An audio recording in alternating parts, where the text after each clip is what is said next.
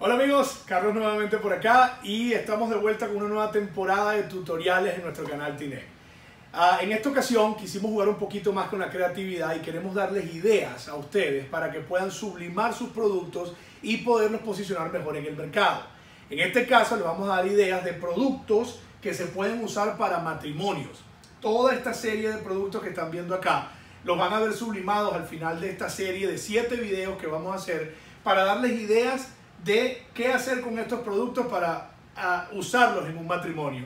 Ya que el matrimonio hoy día es una fecha de celebración, los novios siempre quieren poner su sello, siempre quieren dar un detalle al cortejo y bueno, estos productos son perfectos incluso para la hora de la fiesta. Quédense con nosotros que ya venimos con el video.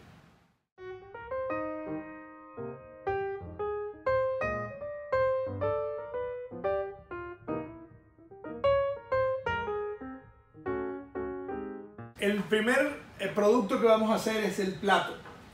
Creemos que el plato es un producto perfecto para la ocasión de un matrimonio. Ya acá hemos impreso nuestra imagen o nuestro sello ¿no? que suelen poner los novios en sus matrimonios hoy día. Eh, recuerden hacerlo en tipo espejo, como siempre lo hacemos. Y aquí lo hemos hecho usando nuestra tinta tiné y nuestro papel tiné que sabemos es rosa por detrás.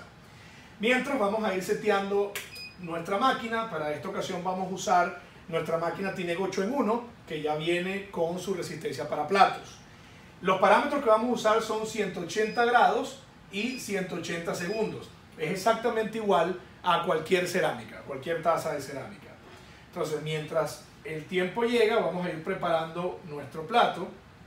Esto sencillamente es a dedo. Esto, eh, la idea es centrarlo bien y usar un poco de cinta térmica para que no se nos mueva al momento de sublimarlo.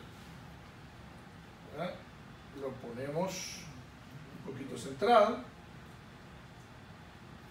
Solamente, yo le pongo dos solamente, esto es lo importante que quede así centrado. Como pueden ver, así quedaría nuestro plato, ¿no? un poco centrado ahí. La máquina va en 170 y casi 180. Nosotros previamente medimos la presión. Es importante eh, en este producto darle muy buena presión. Y fíjense lo que hicimos acá. Nosotros cambiamos la goma espuma, la cambiamos para la parte de arriba ya que ella hace una mejor absorción en el momento de hacerle la presión.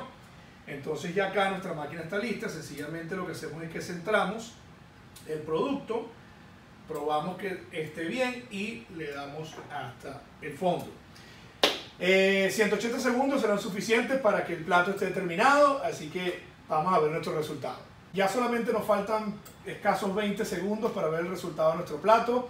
Es importante acotarles que si quieren saber cómo cambiar la refacción por la, refacción plana por la del plato, hay un video que nosotros previamente hicimos, le vamos a dejar el link para que puedan referirse allá y ver cómo hacer el debido cambio. 5 segundos nos quedan para ver el resultado de nuestro plato del super matrimonio que estamos organizando por acá. Esto puede que esté muy caliente, es importante, no está caliente en las puntas, entonces lo podemos tomar. El centro va a estar muy caliente, así que tenemos que despegar con cuidado.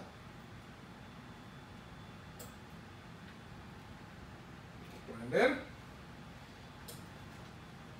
Aquí tenemos el logo de los novios. Se casan el 12 de noviembre del 2019. Y acá tienen el resultado del el papel, todo lo que, lo que se extrajo de la tinta. Así que este es el primer producto para el matrimonio que vamos a hacer y lo vamos a poner en nuestra mesa, que pronto va a estar totalmente llena con los productos para el matrimonio. Seguimos en el próximo video con el próximo producto que va a ser la copa de vino.